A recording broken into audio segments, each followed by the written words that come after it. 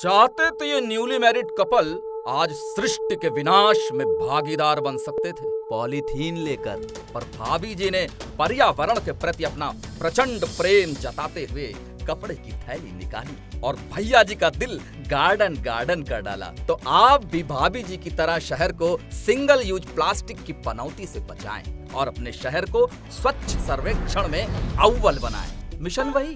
शुरुआत नहीं